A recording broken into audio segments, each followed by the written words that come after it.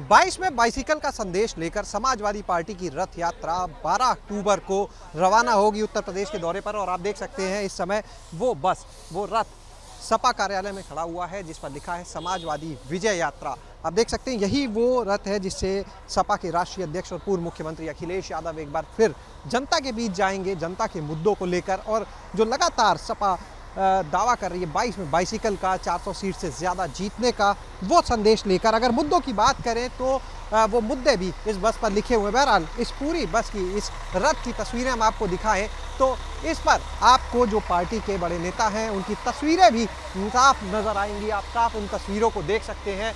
अगर हम इधर बात करें तो देखिए, एक तरफ़ बस के साइड में, जहाँ सपा के संरक्षक मुलायम सिंह यादव की भी तस्वीर है तो साथ में आज़म खान को भी इस रथ यात्रा में जगह दी गई आप देख सकते हैं। और जहाँ पर आज़म खान राम गोपाल की तस्वीर है, प्रोफेसर प्रदेश अध्यक्ष तस्वीर, उसके नीचे लिखा है, बड़ों का हाथ युवा का साथ। तो यही वो विजय रथ होगा, जिस पर सवार होकर अखिलेश यादव निकलेंगे, और जो मुद्दे होंगे अगर उनकी बात की जाए तो उसमें किसान, गरीब, महिला, युवा, कारोबारी, इन सब के मुद्दों को लेकर सपा मिशन 2022 के लिए मैदान में उतरेगी। और देखिए, ये विजय रथ यहाँ पर लग चुका है सपा कार्यालय में, जो 12 अक्टूबर को रवाना होगा यहाँ से प्रदेश भर में। और खुद अखिलेश यादव प्रदेश में जनता के बीच जाएँगे अपने मुद्दों को लेकर, जिसके आधार पर आगे सपा चुनाव लड़ने वाली है।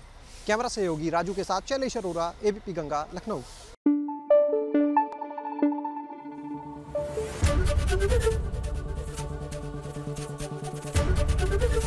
एबीपी गंगा खबर आपकी जुबा आपकी।